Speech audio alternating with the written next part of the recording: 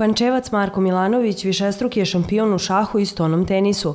Od pete godine počeo je da se takmiči i osvaja trofeje. Uspeh je nastavio da niže, a kako se čini laska u titulu šampiona u ove dve discipline ne planira nikome da prepusti.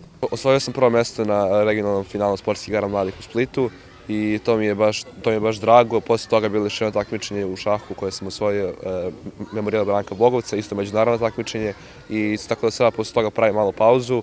Jedno, dve, tri nedelje ću da se koncentrišem u školu, posle toga mi sleduje evropski turnir u Dimitrovgradu u stovom tenisu i prva liga Vojvodina u šahu. Tako da ima dosta da se radi i nadam se da ću uspeti da ostavim što bolje rezultate.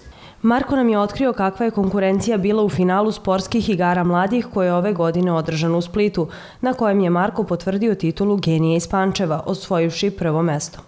Na tom takmičenju je u suštini uvek, uvek dobra, uvek jaka konkurencija, pošto su to svi prvaci države iz tri zemlje, tako da uvek jaka konkurencija, tako da nikad nije bilo lako.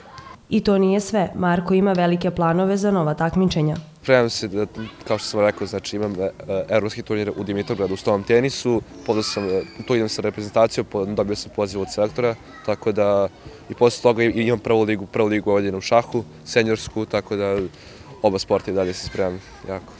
Imam stvarno dragih, mnogo dragih rezultata, ali najdraže mi je što sam e, podelio drugo mesto na prvenstvu Evrope i deseto na prvenstvu sveta. Bio sam petostruki prvak Srbije u šahu u svim disciplinama pre par godina. Prošle godine sam osvojio svih 7 medalja u svakoj disciplini, uključujući i školski sport.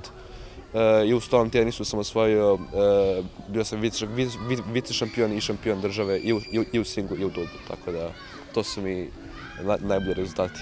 Po svemu sudeći, Marko će nastaviti da niže velike uspehe na radost svih naših sugrađana.